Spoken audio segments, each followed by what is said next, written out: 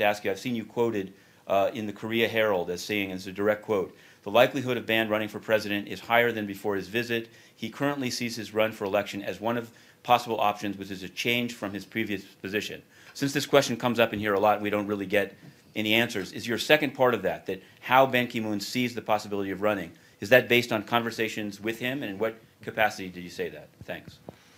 Um, I didn't say that. You know, the uh, the reporters put it in my mouth. You know, I only said that uh, because they asked me about what uh, Mr. Ban said during his uh, uh, press meeting in Jeju, uh, and they tried to interpret it as uh, as him announcing his intention to run for Korean president. So I said, no, he didn't say that.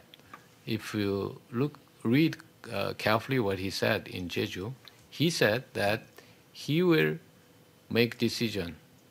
He will concentrate on uh, his work, the remainder of his work as Secretary General until the end of the year, and then he will make decision on uh, on what he is going to do after that, and he will do that very uh, carefully. That's what he said.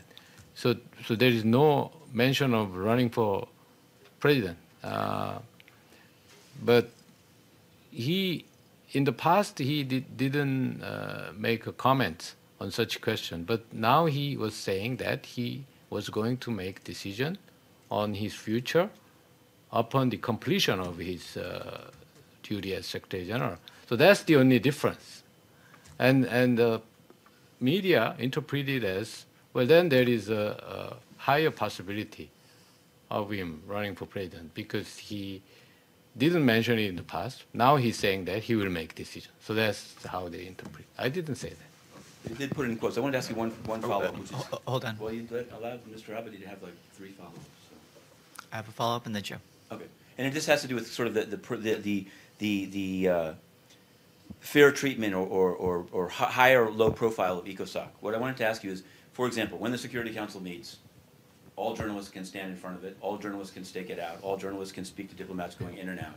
In the case of that ECOSOC high-level political forum, it was impossible. The majority of journalists accredited by the UN were, uh, were, were, were unable, unable to stand in front of the meeting and speak to people. Uh, you, to your credit, when you came through the turnstile, did speak. But do you think that this is an appropriate treatment of ECOSOC as opposed to other organs uh, uh, of the UN, if in fact you want coverage? Well, because of usually don't have any uh, stakeouts, but I didn't know about any arrangement for. No, I mean, the, the policy was the same, that uh, reporters are able to access from the third But floor. stake out, it's like the Security Council today, everyone's it's- standing in it- front It's of the it. standard, it's the standard policy where reporters can enter from the third floor. Yes, Joe?